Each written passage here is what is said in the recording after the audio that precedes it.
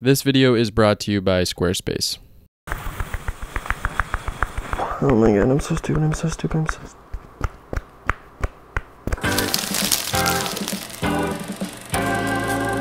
Well, to add to an already pretty dysfunctional video, looks like we have a dysfunctional narration to go along with it. Apologize if I sound a bit stuffed up and look ill right now. My lucky ass managed to get COVID twice. And this time, pretty much during the worst time of the year. Holidays, my birthday, so definitely getting a good old short end of the stick on this one. But I'm here to walk you through this video, and hopefully I can do so in a somewhat non dysfunctional way, even though that's probably unlikely. So, this video, it's, yeah, as the title says, pretty damn dysfunctional. I've said dysfunctional a lot this in this uh, narration already, and things are off to a rough start. So, let me try to pick up the pieces here. Um, basically, went out in the neighborhood around Tacoma because I had uh, a little bit, a few more frames left in a roll of Portra in my Bronica SQ that I had brought down to California on a trip previous with Alicia and my housemate and his girlfriend. So I shot a little bit down there in the Bronica. Great to shoot that camera again. Haven't shot it in a long time. Show you some of those pictures here. I was also shooting a little bit in my Olympus 35 RC with Fuji Industrial 100, which is a fantastic 35 mil film stock. So I had a few frames left in both the Bronica and the Fuji that I needed to kill before I brought my film into the lab. So in this video, I walked around Tacoma just try to pop off a few more um, frames to get those rolls finished. And yeah, battled my own ignorance, the weather, and a couple other fun little dicey factors along the way to get these rolls finished, but um, ended up doing so and ended up getting some decent pictures, I guess. So without further, without Jesus, I need help. Without further ado, let's get into the video. All right, so I'm starting out here 35th and Orchard Street. I was driving around, I saw a couple compositions here that I think I want to capture. And the first one actually being these leaves. Still some fall colors on the ground with these leaves, which is kind of crazy considering we're into December now. But uh, I feel like nowadays I'm always so focused on the vast landscapes and the broader pictures that I forget about the beauty and the smaller things. So I want to not be afraid to take those types of pictures. Gonna kill the roll of Portra 400 and the Bronica first. I think we'll start out with that. All right, so of course, couldn't even get one shot off yet before it started raining. And film cameras and rain, I don't think mix particularly well. So not ideal what we got going on right here.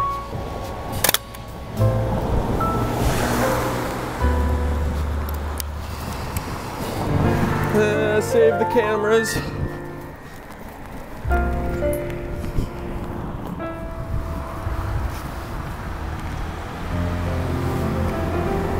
I found some more leaves on this grass that I like. So we're gonna give this a go. Kind of playing a waiting game right now. Just rain, wait in the car. When the rain stops, pop back out, get the picture. That's probably what it's gonna be like for the next couple of hours, but we'll make it work.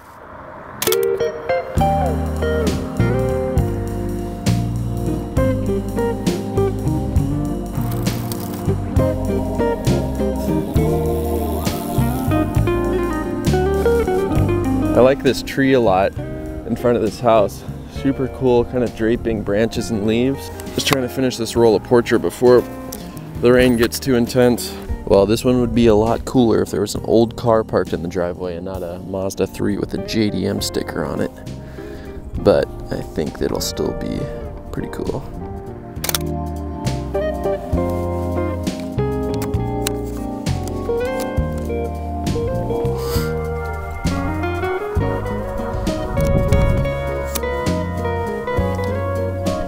All right, the rain's getting real bad.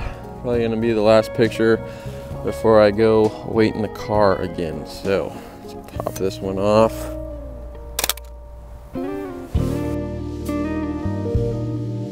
I shot two compositions of this house, and while I'm still going back and forth on which one I like better, I'm starting to lean towards the second one, I believe.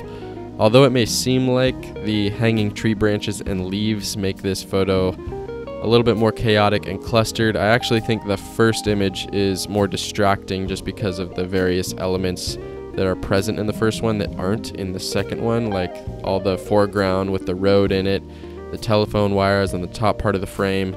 I was really drawn just towards this tree, the hanging leaves, and the house behind it. So in the second photo, I was able to isolate those two subjects a little bit more and really draw the viewer's eye right into the core of this image, which is the tree and the house.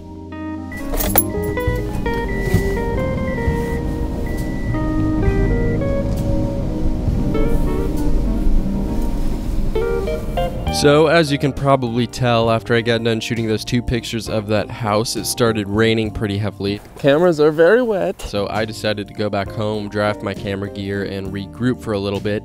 The rest of the day, the weather was just being very annoying, very indecisive. As soon as it looked like it was gonna clear up, I'd head out in my car, try to go take some more pictures, and then it'd start raining again. So I'd go back home, and then it would clear up, and it was just back and forth. I got very frustrated, but eventually I just said, screw it, I'm going out. I'm finishing the roll in the Bronica and the Olympus. So I headed to this area of North Tacoma, neighborhood that overlooks the Puget Sound. Looked like there were some cool compositions there and some cool houses as well. So I just pulled off there, roamed around the neighborhood a little bit, and finished both of those rolls in that area.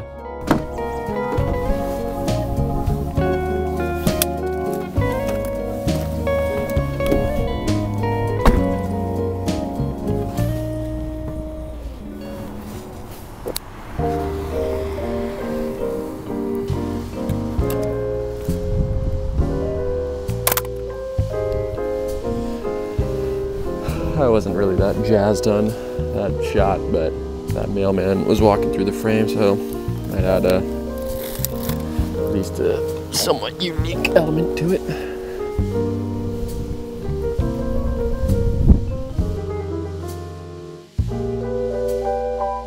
This will be the last frame on the roll of Portra 400 in the Bronica. This house is really cool.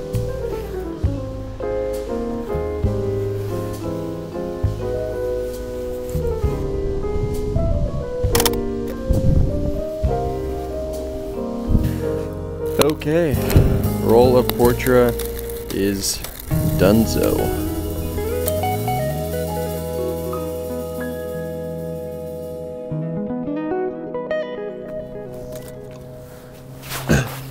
I threw the Olympus in my pocket and damn near forgot about it. Oh, 35 mil cameras, you're so cute.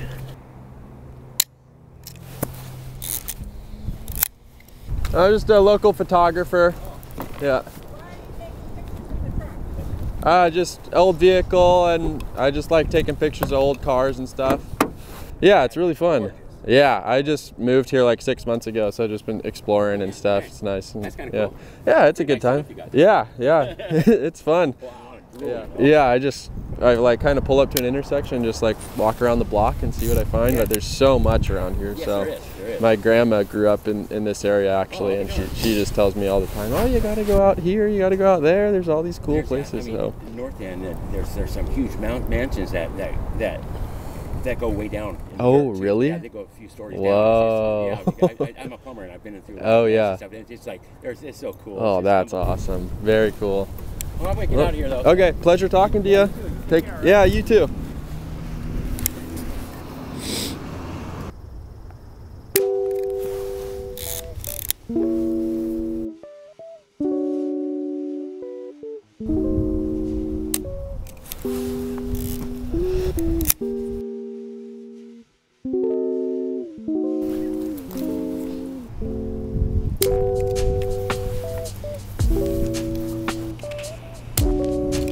You might notice that a lot of these shots in the Olympus look a little bit blurry, fuzzy, maybe even out of focus.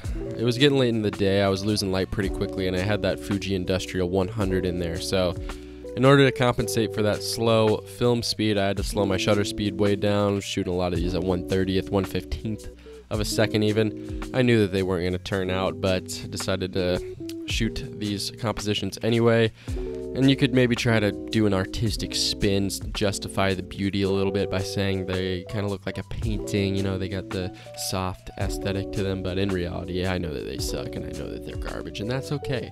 Just one of the, you know, conflicts you run into when shooting film. You got half a roll left or a fourth of a roll left, and you want to get the pictures back, but you don't want to just shoot a bunch of blanks, so you kind of just half ass a bunch of pictures.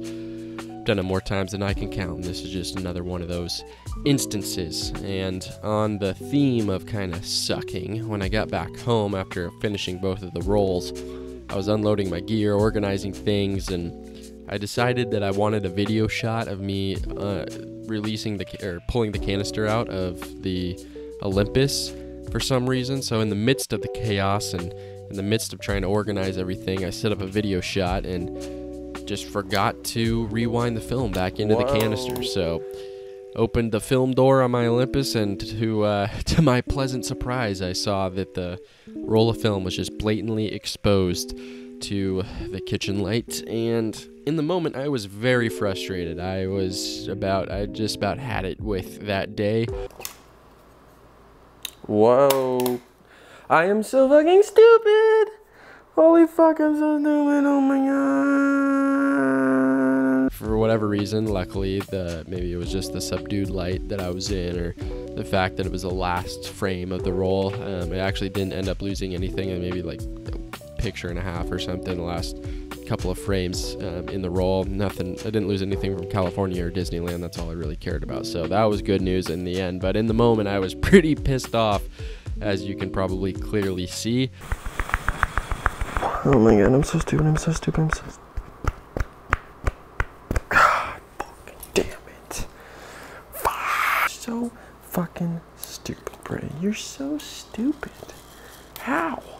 How do you forget to do that? I gotta set up a video shot and get me unloading this roll of fucking film because I'm fucking YouTube and I.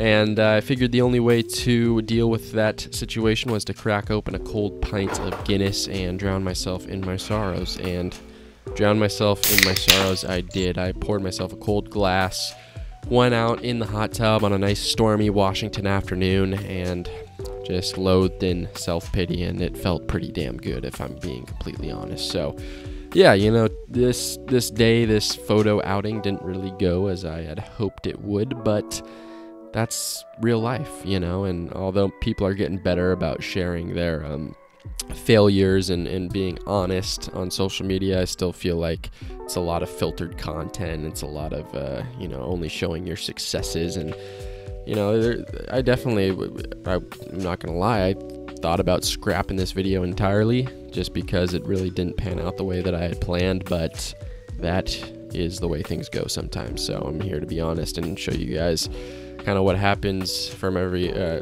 what happens every once in a while, and it's just the truth. So, yeah, don't let those uh, roadblocks deter your creative process. It's all the successes are much more worthwhile after you've had some failures leading up to them. So that's kind of the outlook that I have on things. But man, I, I know it can get plenty frustrating at uh, at certain times. So yeah, while this photo outing may have sucked, you know what doesn't suck? Today's sponsor, and that is Squarespace.